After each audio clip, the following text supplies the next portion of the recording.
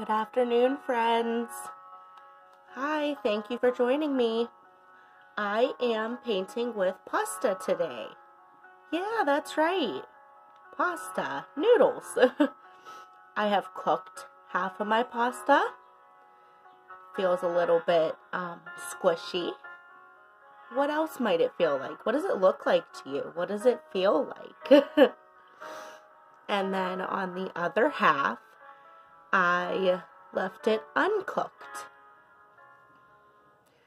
Feels a bit prickly. What else might it feel like to you?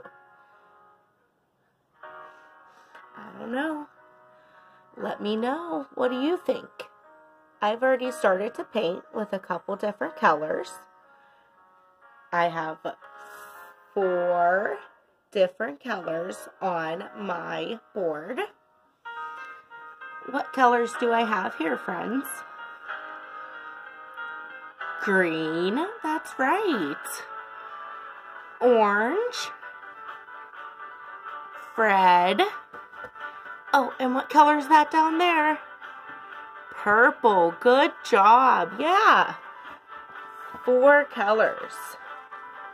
Since I used the cooked side, I'm going to give the uncooked side a try. I'm going to dip my pasta in some paint.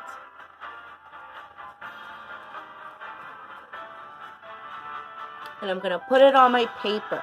Paint always goes on the paper, friends, just like in the classroom.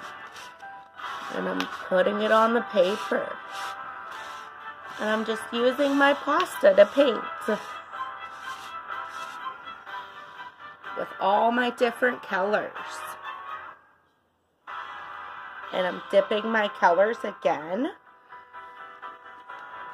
Those colors look so wonderful on your paper, friends.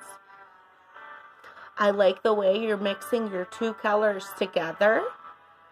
I like the way you're dipping your pasta in the colors. It's very creative.